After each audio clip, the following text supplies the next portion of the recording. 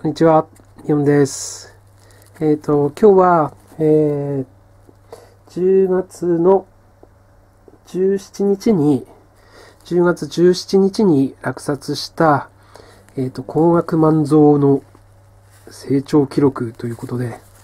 これはその万蔵ではないんですけども、これはオーロラの中内です。模様が出てきて良い感じになってきている中内ですね。これの他に親苗もありますけども、今日はまず中内を登場させてみました。それで、あのちょっと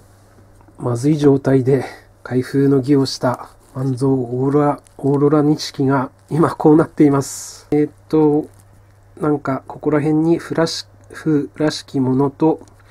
で、ここの新しい葉っぱの横の部分に符が入ってるっていう感じですね。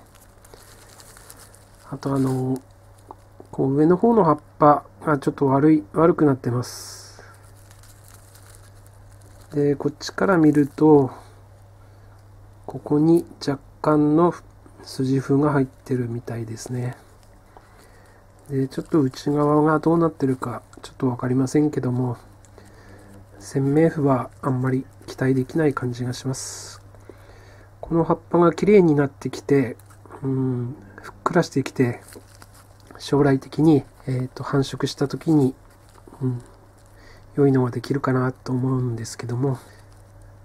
まずこの苗自体がこんな状態なので、まだ先のことは分かりません。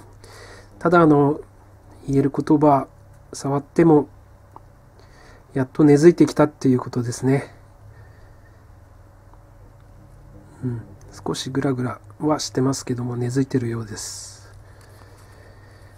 これも早く成長、成長というか、まず復活してほしいです。